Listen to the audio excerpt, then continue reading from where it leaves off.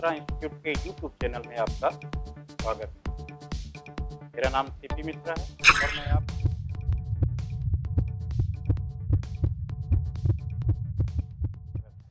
आज हम देखेंगे अपना दूसरा टॉपिक जिसका जिस टॉपिक का नाम है अक्षांश और देशांतर। आइए देखते हैं अक्षांश और देशांतर क्या होता है। मित्रों,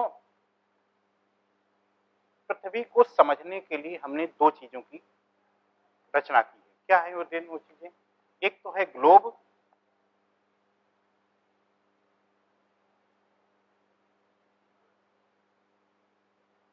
और दूसरा है मानचित्र।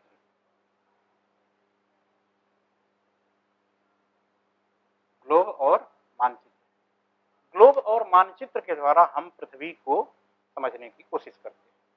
तो पहले हम ग्लोब को देखते हैं, ग्लोब क्या होता है और मानचित्र क्या होता है। ग्लोब, आपने देखा होगा कि ग्लोब कैसा होता है? ग्लोब एक गोलाकार जैसा पृथ्वी का आकार है। पृथ्वी अपने बीच में थोड़ा उभरी हुई है, फैली हुई है और सिरे की ओर, यानी ध्रुवों की ओर थोड़ी चपटी है। इसलिए पृथ्वी का जो आकार है, वो एकदम गोलाकार ना होकर वो गुलाब आकृति में है। इसीलिए पृथ्वी को समझना थोड़ा कठिन है। तो दो चीज़ें हम समझने के लिए रचना की है, ग्लोब की और दूसरा मानचित्र। ग्लोब में आप, चूँकि आपने देखा होगा ग्लोब ग्लोब में एक गोलाकार बाल जैसा होता है, उसमें बीच में रेखाएँ बनी होती हैं। वो रेखाएँ, आप यदि संपूर्ण रेखाओं को देखिए तो एक वृत्त की रचना करते हैं। तो बीच वाला भाग जो है, जहाँ से सबसे, एकदम बीच वाला भाग, जहाँ से जो सबसे बड़ा वृत्त बनता है, जो भूमध्य रेखा जिसे कहा जाता है, यदि हम मानचित्र पर जाएँ तो उसे हम भूमध्य रेखा कहते हैं। यानी वो भूमध्य रेखा वाला सबसे बड़ा वृत्त होता है, और जैसे जैसे हम ऊपर की ओर जाते हैं, वो वृत्त थोड़ा थोड़ा छोटा होता जाता है, और एकदम ध्रुव पर पहुँचते पहुँचते एक बिंदु के रूप में हो जाता है, एक पॉइंट के रूप में हो जाता है, जो वृत्त न होकर एक बिंदु हो जाता है। तो थोड़ा सा हम देखेंगे ग्लोब और मानचित्र में भी क्या अंतर होता है, उसको समझेंगे। लेकिन इसको समझने से पहले हम थोड़ा पृथ्वी को समझें तो जब भी हम किसी मानचित्र को देखते हैं तो मानचित्र देखने का एक नियम होता है। हम मानचित्र को अपने सामने रख देते हैं और सामने रखने पर ऊपर वाला भाग हमारा नॉर्थ कहलाता है, नीचे वाला भाग हमारा साउथ कहलाता है, दाहिनी तरफ़ और बाई तरफ़ वाला भाग हमारा वेस्ट यानी पश्चिम कहलाता है।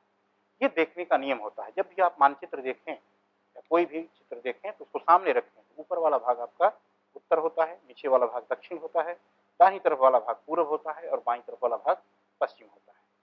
इसी तरीके से हम सबसे पहले एक पृथ्वी को देखते हैं कि पृथ्वी में क्या उत्तर, क्या दक्षिण, क्या पूर्व क्या पश्चिम है। ये पृथ्वी का आकार है। यदि हम इस पृथ्वी को बीचों बीच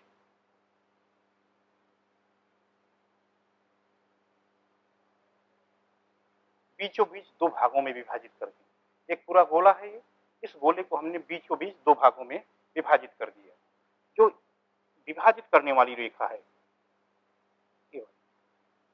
अब पृथ्वी को जानते हैं, पृथ्वी का एक नाम भू भी है।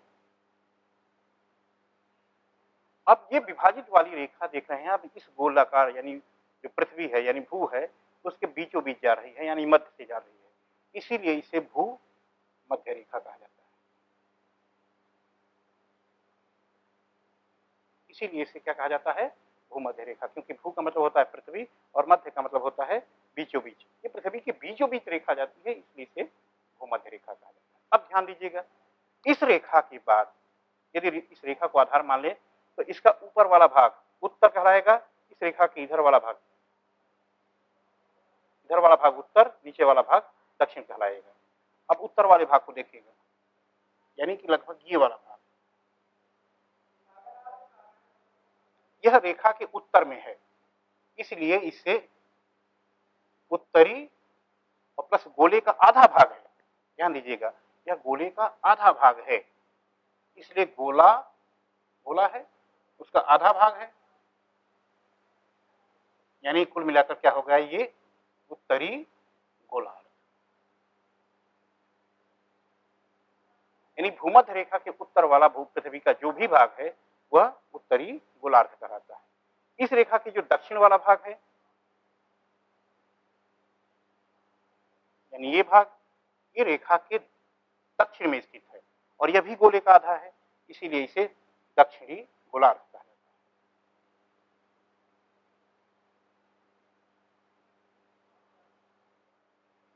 इसलिए आप समझ में आए उत्तरी गोलार्ध क्या होता है, दक्षिणी गोलार्ध? जो भूमध्य रेखा के उत्तर वाला भाग है, पृथ्वी का उत्तरी गोलार्ध कहलाता है। जो भूमध्य रेखा के दक्षिण वाला भाग है वो दक्षिणी गोलार्ध कहलाता है।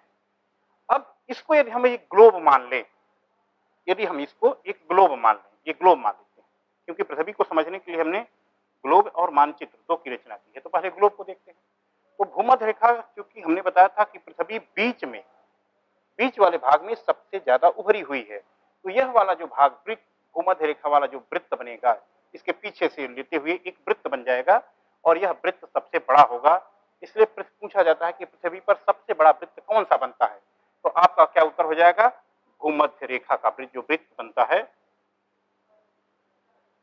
भूमध्य रेखा का जो वृत्त बनता है, वह पृथ्वी पर सबसे बड़ा वृत्त है।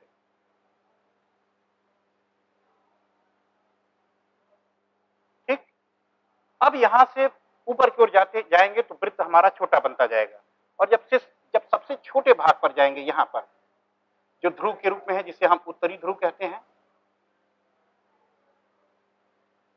उत्तरी ध्रुव, यह एक वृत्त न होकर एक बिंदु के रूप में है। इसलिए इसे वृत्त नहीं मानते। इसी तरीके से दक्षिणी ध्रुव भी है।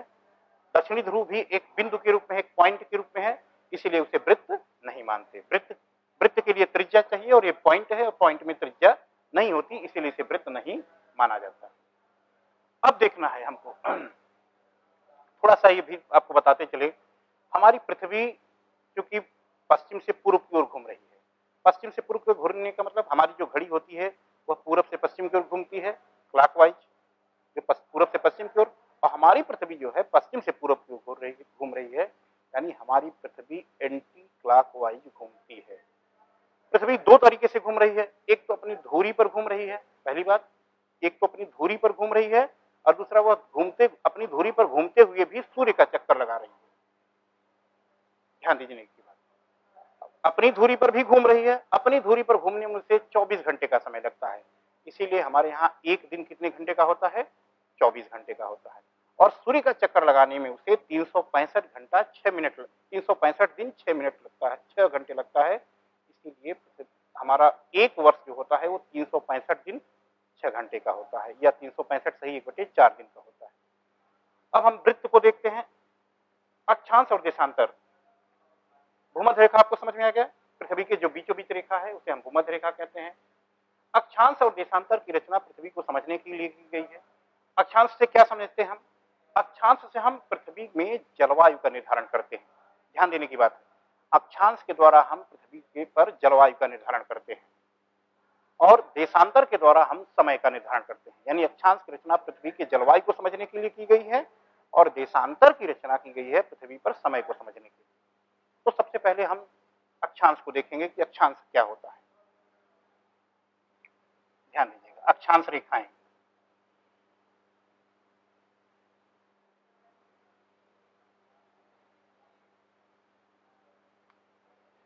यहाँ आपको ध्यान देना है यदि रेखा शब्द, चूँकि रेखा मानचित्र पर खींची जाती है, जैसे हम एक मानचित्र बना दिए, आपने देखा भी होगा मानचित्र को। ये भूमध्य रेखा होगी।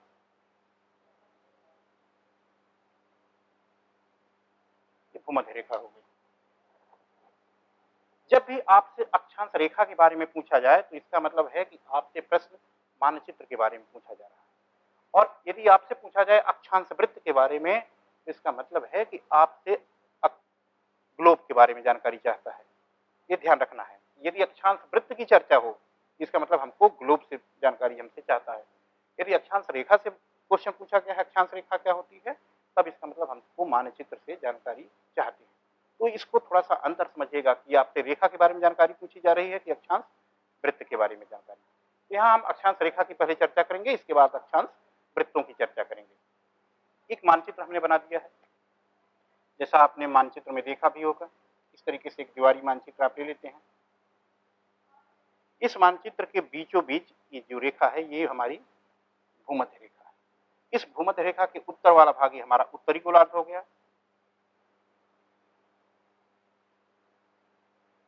और इसके दक्षिण वाला भाग हमारा दक्षिणी गोलार्ध हो गया।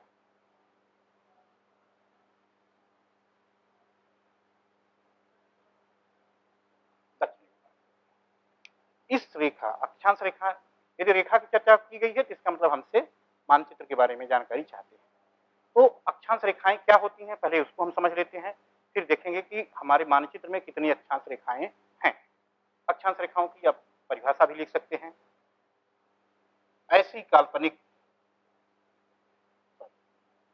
मानचित्र पर, क्योंकि अक्षांश रेखाएँ मानचित्र पर खींची जाती है, मानचित्र पर ऐसी काल्पनिक रेखाएँ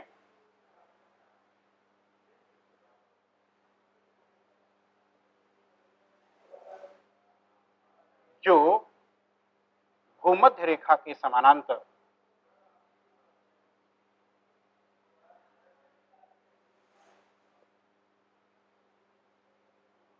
पश्चिम से पूर्व की ओर 111 किलोमीटर के अंतराल पर।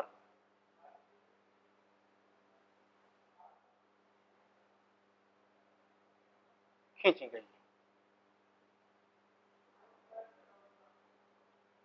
मानचित्र पर ऐसी काल्पनिक रेखाएँ जो भूमध्य रेखा के समानांतर पश्चिम से पूर्व की ओर खींची गई हैं। काल्पनिक रेखाएँ हैं। ये काल्पनिक ये कल्पना चूँकि हम, मन, मानचित्र की हमने कल्पना की है। धरातल पर उनके बीच में दूरी कितनी है? एक अक्षांश से दूसरे अक्षांश के बीच? 111 किलोमीटर। उसका एक मानक मान करके पैमाना मान के 111 किलोमीटर इतने सेंटीमीटर पर होता है। हम मानचित्र पर उतने ही अंतराल पर जो है रेखाएँ खींचा करते हैं। तो सबसे पहले अक्षांश रेखाओं की आप परिभाषा समझ लीजिए मानचित्र पर ऐसी काल्पनिक रेखाएँ जो भूमध्य रेखा के समानांतर पश्चिम से पूर्व की ओर खींची जाती हैं। अक्षांश रेखाएँ कही जाती हैं। उत्तरी गोलार्ध में इनकी संख्या 90 होती है। उत्तरी गोलार्ध में, यानी 90 रेखाएँ उत्तरी गोलार्ध में।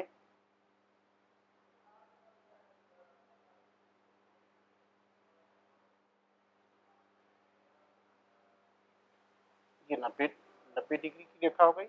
ये ज़ीरो डिग्री, क्योंकि भूमध्य रेखा का एक अक्षांशीय नाम है ज़ीरो डिग्री। इसलिए भूमध्य रेखा को ज़ीरो डिग्री अक्षांश रेखा भी कहा करते हैं। इसी प्रकार नब्बे रेखाएँ दक्षिणी रेख गोलार्ध में है।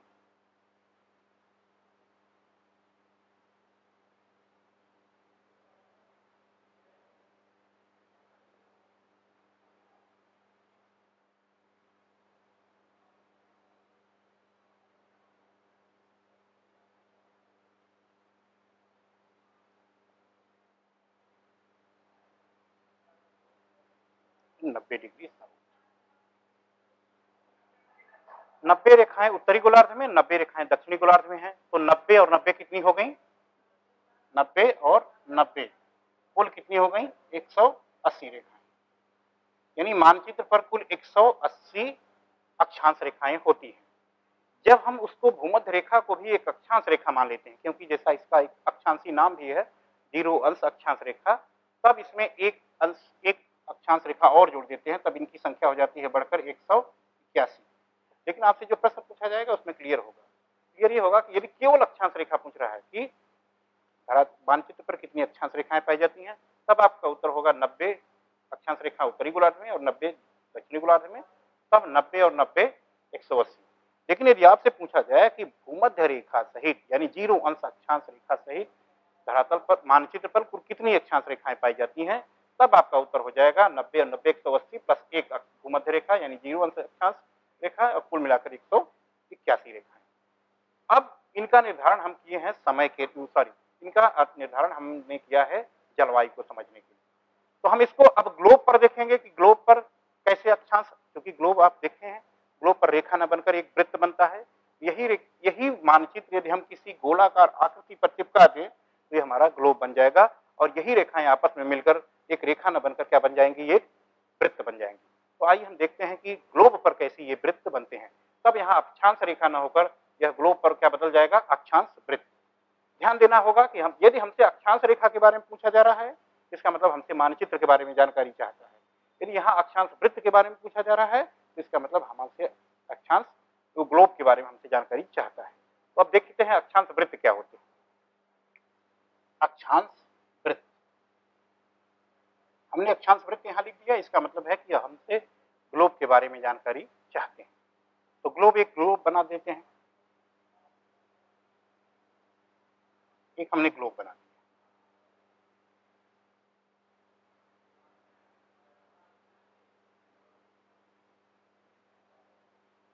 एक ग्लोब बना दिया।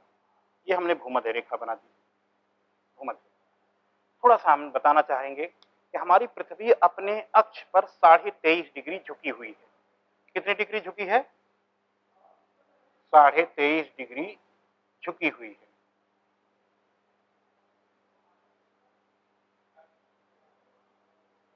हमारी पृथ्वी अपने अक्ष पर साढ़े तेईस डिग्री झुकी हुई है।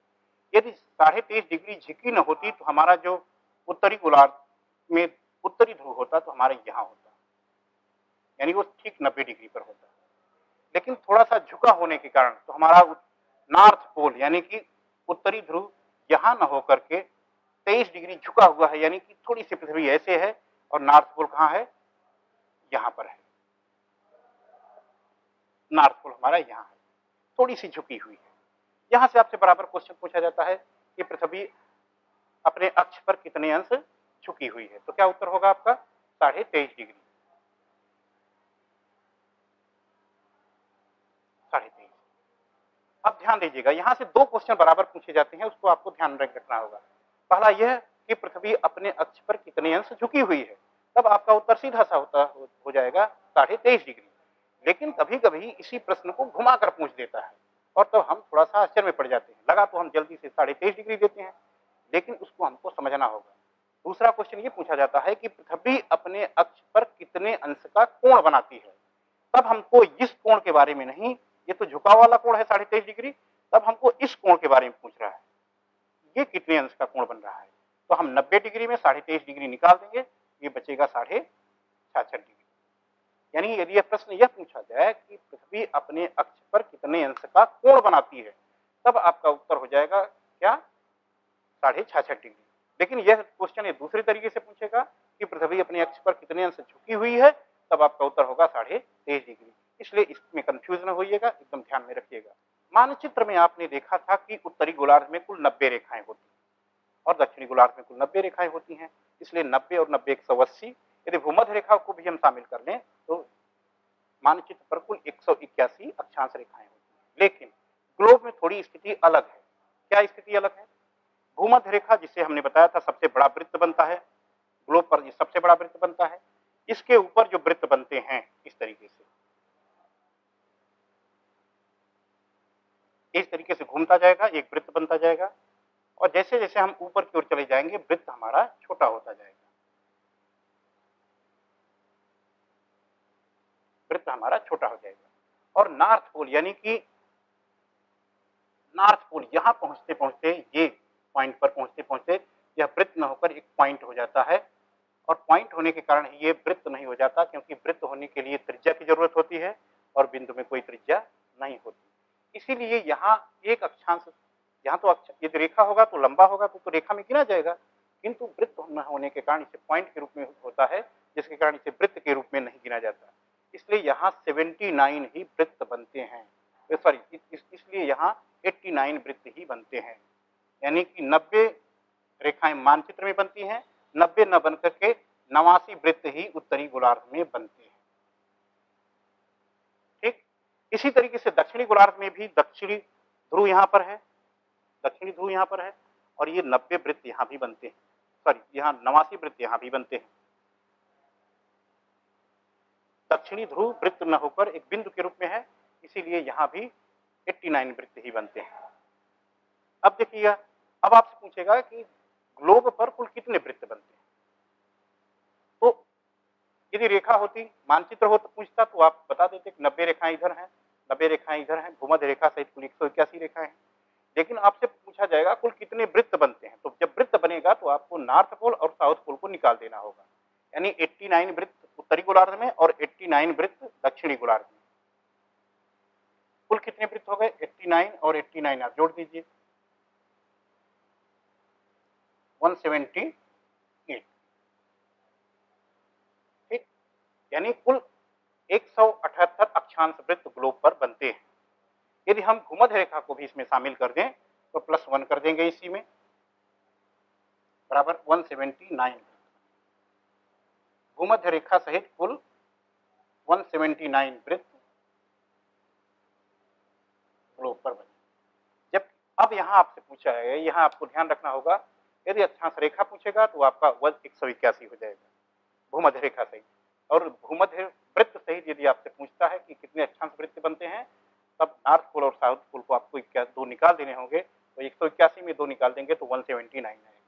यानी कि ग्लोब पर कुल कितने वृत्त बनते हैं? वन सेवेंटी नाइन ये अक्षांश रेखाएँ ध्यान देना है। अब दूसरी चीज़ हम देखते हैं कि इन अक्षांश वृत्तों की या अक्षांश रेखाओं की रचना क्यों की गई है? इसको समझना। हमने बताया था शुरुआत में ही कि अक्षांश रेखाएँ या अक्षांश वृत्तों की रचना जलवायु को समझने के लिए की गई है। कैसे जलवायु को समझना जा, समझा जाएगा अक्षांश से? आइए उसको देखते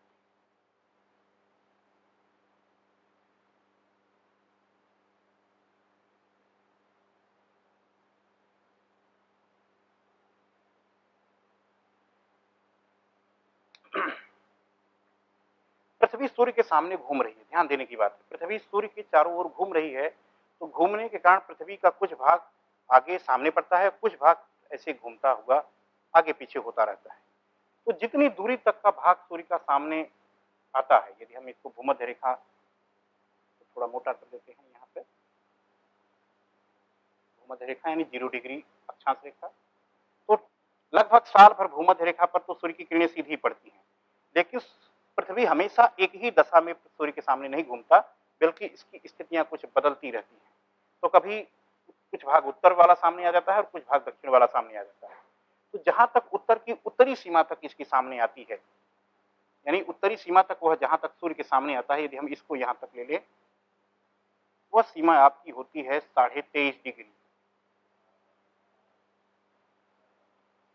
साढ़े तेईस डिग्री। यानी साढ़े तेईस, घूमते हुए सूर्य की किरणें उत्तर में साढ़े तेईस डिग्री तक सामने आती हैं। इसी प्रकार साढ़े तेईस डिग्री दक्षिण तक भी आती है। साढ़े तेईस डिग्री दक्षिण तक आती है। हमने नॉर्थ और साउथ लिख दिया। नॉर्थ साउथ का मतलब है अक्षांश रेखाओं की चर्चा हो रही है। यही साढ़े तेईस डिग्री उत्तर और साढ़े तेईस डिग्री दक्षिण की के बीच में सूर्य जो है के सामने पृथ्वी ऊपर घूमती रहती है। कभी यह भाग सामने आता है, कभी यह भाग सामने आता है, कभी यह भाग सामने आता है। अब जो साढ़े तेईस डिग्री इसकी उत्तरी सीमा है इस रेखा को। इसको हम कहते हैं कर्क रेखा। ट्रॉपिक ऑफ़ कैंसर यानी कर्क रेखा। और साढ़े तेईस घूमते हुए जो साढ़े तेईस डिग्री दक्षिणी अक्षांश वाली अंतिम सीमा आती है, इसको हम कहते हैं मकर रेखा। ट्रॉपिक ऑफ़ कैप्रिकॉर्न ठीक? यानी साढ़े तेईस डिग्री उत्तरी अक्षांश वाली रेखा को हम कर्क रेखा रेखा कहते हैं, और साढ़े तेईस डिग्री दक्षिणी अक्षांश वाली रेखा को हम मकर रेखा हैं सूर्य की किरणें साल भर भूमध्य रेखा से कर्क रेखा और मकर रेखा के बीच ही सूर्य का भाग सामने पड़ता रहता है। अब सूर्य का भाग कर्क रेखा और मकर रेखा के बीच ही पड़ता रहता है, इसलिए यहाँ तापमान अधिक होता है। तापमान अधिक होने के कारण ही इसे उष्ण कटिबंध पड़ता है, कहता कहा जाता है। इसके बाद सूर्य की किरणें तिरछी पड़ने लगती जैसे जैसे सूर्य की किरणें तिरछी पड़ती जाएँगी, तापमान कम होता जाएगा। सूर्य की किरणें तिरछी होती जाएँगी, वैसे वैसे तापमान कम होता जाएगा और जैसे जैसे तापमान कम हो जाएगा, जलवायु बदलता जाएगा। क्योंकि आप जानते हैं कि जलवायु का निर्धारण तापमान से होता है। जहाँ तापमान अधिक है, उसे उष्ण कटिबंध, फिर आगे शीतोष्ण कटिबंध इसके बाद इसके बाद शीत कटिबंध शुरू हो जाता है। इस तरीके से हमने अक्षांश की रचना की है, जलवायु को समझने तो मित्रों, ये हुआ अक्षांश आपको जो क्वेश्चन नहीं आए होंगे, आप कमेंट करिएगा। हम उसका उत्तर देने की कोशिश करेंगे और मुझे विश्वास है कि आपको अक्षांश पूरी तरीके से समझ में आ गया होगा।